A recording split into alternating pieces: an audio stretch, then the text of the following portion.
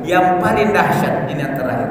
Yang paling dahsyat dengan izin Allah Subhanahu wa taala dengan perantara ini akan diberikan mimpi. Mimpi untuk bertemu dengan Nabi Muhammad sallallahu alaihi wasallam sebelum meninggal. Ini puncak daripada uh, khasiat mengamalkan secara istiqamah 41 Tapi sebelum lanjut jangan lupa bergabung di channel ini. Like, comment, dan subscribe. Salihat. Alhamdulillahirrabbilalamin Nahmaduhu wa nashkuruhu wa nastaghfiruh. Wa na'udhu billahi min syururi anfusina wa min sayyati a'malina. May yahdihillahu fala mudillalah ومن يضلله فلا هادي له والصلاة والسلام على رسول الله محمد وعلى آله وسلم تسليما أما itu ada di dalam Al-Quran surat Taubah ya surat Taubah dua ayat terakhir A'udzu billahi minasyaitonir rajim laqad ja'akum rasulun min anfusikum asisun 'alaihi ma anittum harisun 'alaikum bil mu'minina raufur rahim. Fa in tawallaw faqul hasbiyallahu la ilaha illahu alaihi tawakkaltu wa huwa rabbul arsyil azim jadi ada dua ayat terakhir di surah At-Taubah ayat 128 kalau tidak salah dengan 129 di antara keutamaannya jamaah dimuliakan Allah Subhanahu wa taala yang pertama man qara'a kulla lailatin sab'a marratin. Barang siapa yang membaca setiap malam tujuh kali lam yamut bihadidin wala ghairihi fi salikal yawm wala tilkal lailati wala yanzilu mautum baktatan jadi saya ulang barang siapa yang membaca setiap malam tujuh kali dua ayat itu tadi di akhir surah At-Taubah maka orang itu tidak akan meninggal karena benda-benda tajam. Dan selain daripada benda-benda tajam pada malam itu.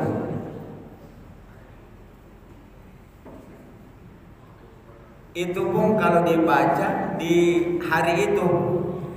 Dan kedua tidak akan meninggal tiba-tiba. Apa maksudnya hadirin yang dimuliakan Allah Subhanahu wa taala? Ini kan kita biasa berkendara. Tiba-tiba tak perangkap mobil kita. Bisa ketika tertusuk itu. Itu salah satu hikmahnya.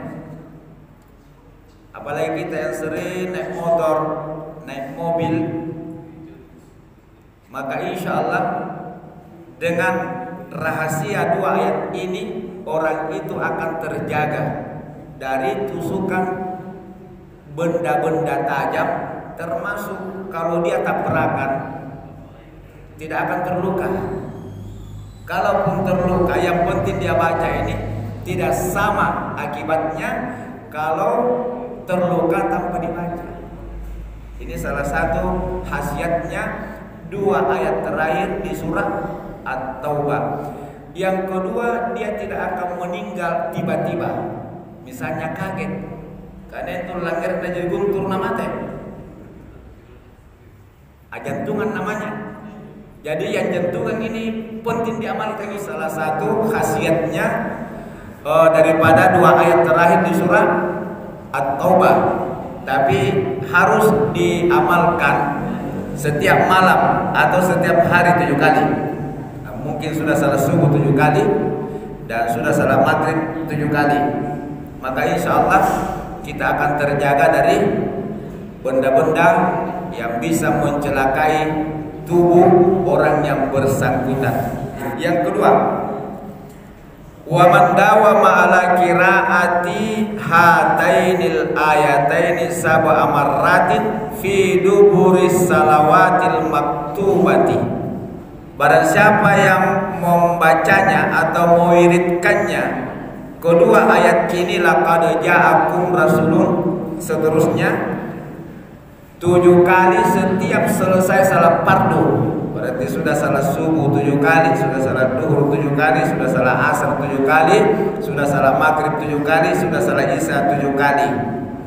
Ya, apa keutamaannya? Ingkana da'ifan kawiyah Apabila orang itu lemah Apakah lemah fisiknya? Apakah lemah pendidikannya? Apakah lemah ekonominya? Apakah lemah rezekinya? Kawiyah Allah akan kuatkan. Ya. Au salilan assa. Apabila orang itu ya terhinakan maka Allah yang akan memuliakannya Allah yang akan memuliakannya. Au makluban intasara kalau dia merasa kalah kalah persaingan mendaftar polisi gugur mendaftar tentara gugur mendaftar PNS gugur mendaftar jadi karyawan gugur intasara. Allah kasih kemenangan.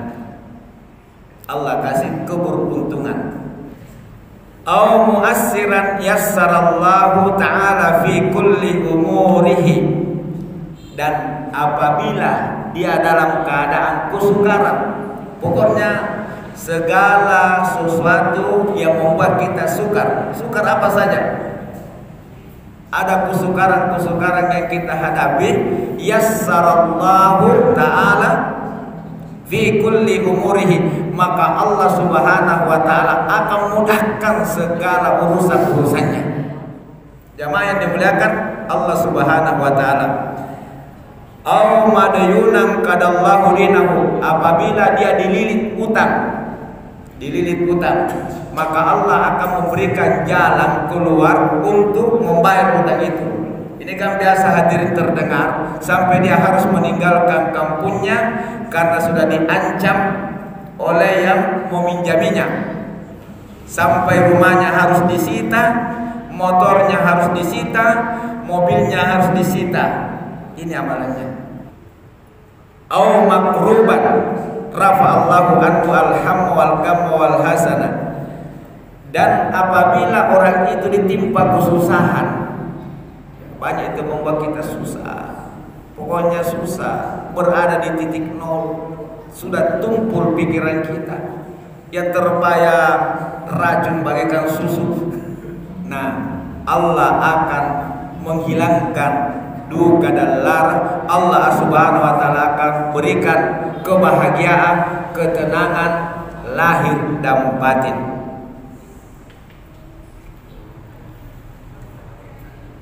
au mudaikan alaihi rizqa wal khairat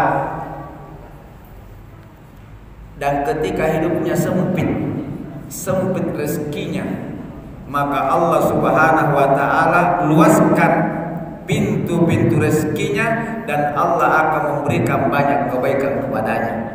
Ini kalau dibaca atau diwiridkan tujuh kali setiap selesai salat lima waktu. Dan itu tidak lama tidak cukup dua menit itu yang kedua. Amalan terakhir yang ketiga. Waman dawama ala kiraatihima kulla yaumin ihda wa arba'ina. Dan barang siapa yang membaca atau mewiridkan dua ayat surat terakhir di surah At-Taubah laqad ja'akum rasulun dan seterusnya 41 kali setiap hari. Jadi 41 kali setiap hari atau 41 kali setiap malam. Jadi pilih saja hari atau malam. Daharat lahu asraru minal ajaibi wa ru'yatu Rasulillah sallallahu alaihi wasallam maka Allah Subhanahu wa taala akan memberikan ya rahasia-rahasia yang luar biasa di dalam kehidupannya. Yang mana contohnya seperti yang saya katakan tadi bahwa Allah memberikan rahasia atau firasat kepada Nabi Hidir yang Allah tidak berikan kepada Musa. Jadi Barang siapa yang mendawamkan setiap hari atau setiap malam dua ayat di surat terakhir surat Taubah 41 kali maka Allah akan memberikan rahasia-rahasianya di dalam kehidupannya. Allah akan membuka mata, mata batinnya dikasih ilmu firasat. Ini salah satu untuk mendapatkan ilmu ladun ilmu firasat atau tersingkapnya sesuatu yang orang lain tidak diberikan hadirin. Salah satu amalannya membaca atau mewiridkan 41 kali setiap hari atau setiap malam yaitu laqad ja'akum. Ayat 128 dengan 129 yang paling dahsyat ini yang terakhir. Yang paling dahsyat dengan izin Allah Subhanahu wa taala dengan perantaraan ini akan diberikan mimpi. Mimpi untuk bertemu dengan Nabi Muhammad sallallahu alaihi wasallam sebelum meninggal. Ini puncak daripada uh, khasiat mengamalkan secara istiqamah 41 kali. Dan di sini dikisahkan sebelumnya ini Bapak Ibu, sahabat-sahabat, para alim ulama, para ahli-ahli sir, ahli hikmah, al-arif billah itu diceritakan gara-gara mengamalkan ini di antara mereka hampir setiap malam berjumpa dengan Nabi dalam tidurnya. Ya.